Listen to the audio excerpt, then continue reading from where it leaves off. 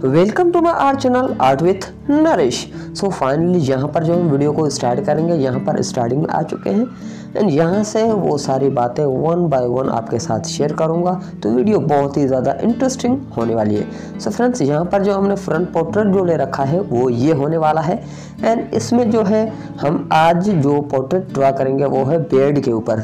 First इससे पहले मैंने ट्यूटोरियल जो डाल रखा है, वो हेयर्स के ऊपर था। अदरवाइज़ ये ट्यूटोरियल जो होने वाला है, वो बेड्स के ऊपर होने वाला है। ज़्यादातर आर्टिस्ट जो होते हैं उनको जो है बेड या मोस्टिचेस जो बनाने में बहुत ही ज़्यादा डिफ़िकल्टी आती है। सो उसके उन लोगों के लिए जो मैं बहुत ही सिंपली तरीके से ट्यूटोरियल लेके आया हूँ। तो यहाँ पर सबसे पहले हम आउटलाइन क्रिएट करेंगे विथ हेल्प ऑफ़ 0.3 की मैकेनिकल पेंसिल से। सो so, सबसे पहले हम जो है यहाँ पर इतनी दिक्कत वाली बात नहीं अच्छे तरीके से ऑब्ज़र्व करके यहाँ पर मैं एक आउटलाइन क्रिएट कर रहा हूँ ताकि जो है बाद में हम इसके अंदर काम कर सकें। एंड फाइनली यहाँ पर आउटलाइन देने के बाद जो है, मैं एक टू बी पेंसिल से एक लेयर दे रहा हूँ ताकि मुझे पता चले कि यहाँ यहाँ पर मोस्टिचेस हैं बेड है। तो एक लेयर वाइज आप काम करेंगे तो रिज़ल्ट बहुत ही बढ़िया निकल कर आएगा। तो आप इसी तरह जो है, बिल्कुल हल्के हाथों से धीरे धीरे काम करते जाएँ। बिल्कुल यहाँ पर कोई भी आपको हड़बड़ी नहीं करनी चाहिए।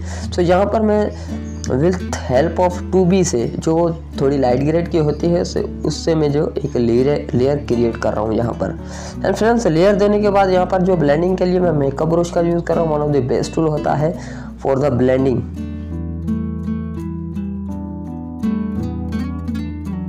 एंड जो अब सेकंड बात आती है हेयर्स को ड्रा करने में, यहाँ पर जो मैं आपको बिल्कुल नज़दीक से दिखाने की कोशिश करूँ आपको बिल्कुल हल्के हाथों से इसी तरह स्ट्रोक बाय स्ट्रोक अच्छे तरीके से ऑब्ज़र्व करके पोर्ट्रेट को कहाँ पर कौन कौन से हेयर कहाँ कहाँ फ्लो कर रहे हैं, उसको इजीली यहाँ पर क्रिएट करते जाना बिल्कुल हल्के हाथों से। लेयर वाइज काम करेंगे रिज़ल्ट जो है बहुत ही बढ़िया निकल कर आएगा। एंड जो है ये वीडियो बहुत ही ज़्यादा इम्पोर्टेंट होने वाली है for the beginners so friends जो जो जो दोस्त नए हैं चैनल पर तो चैनल को जो है एक बार ज़रूर सब्सक्राइब एंड बेल आइकन को प्रेस ज़रूर कर दें ताकि आर्ट से रिलेटेड बहुत अच्छा कंटेंट आपको इस चैनल पर मिलता है एंड हमेशा जो है मिलता रहेगा।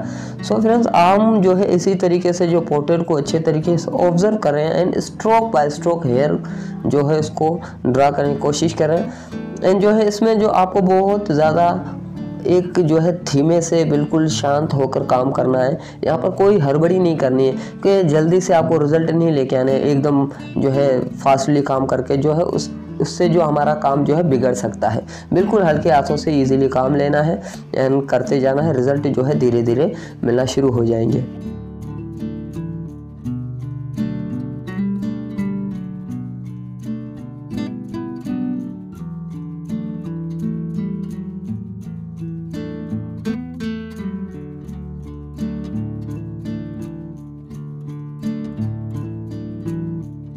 हमने जो एक सेकंड लेयर क्रिएट कर लिया वो हेयर्स की अच्छे तरीके से हेयर्स के फ्लो को बनाकर छोटे छोटे एंड यहाँ पर जो हम मेकअप ब्रश का यूज़ कर रहा हूँ, जो छोटे वाला है, ताकि छोटे एरियाज़ को कवर कर सकूँ ईजी से।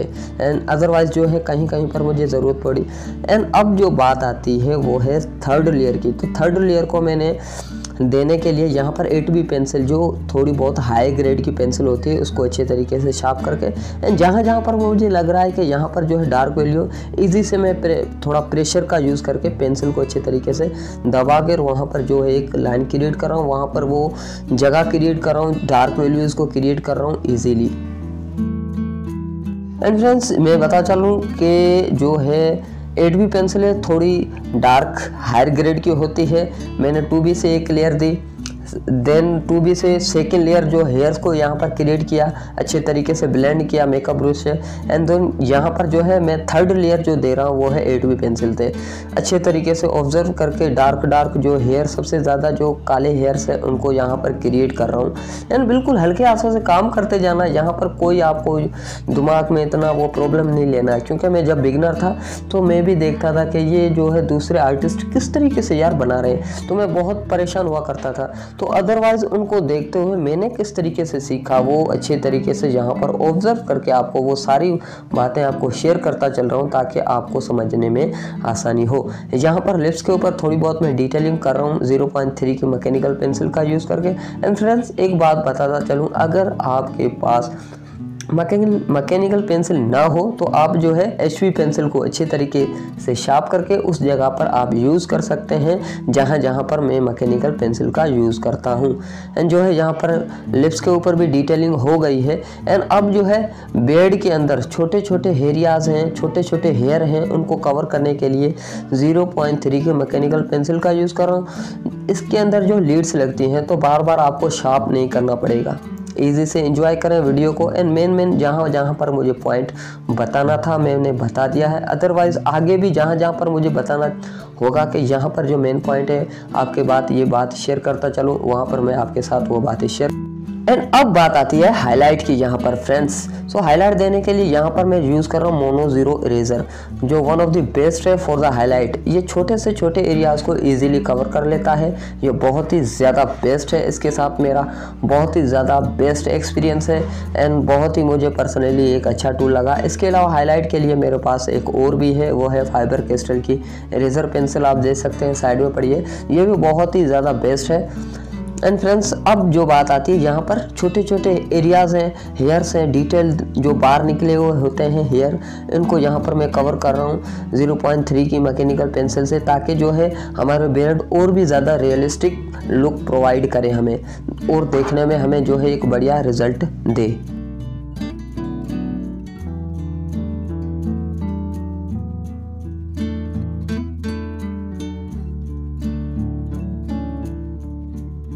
सो फाइनली यहाँ पर जो हमारा बेयर्ड एंड मोस्टिचेस बनकर रेडी हो चुका है। सो आई होप ये वीडियो आपको बहुत ज़्यादा अच्छी लगी होगी। एंड थोड़ी सी भी इस वीडियो के थ्रू आपको हेल्प लगी है तो चैनल को एक बार ज़रूर सब्सक्राइब एंड बेल आइकन को प्रेस करना। तो चलिए मिलते हैं नेक्स्ट वीडियो में। बाय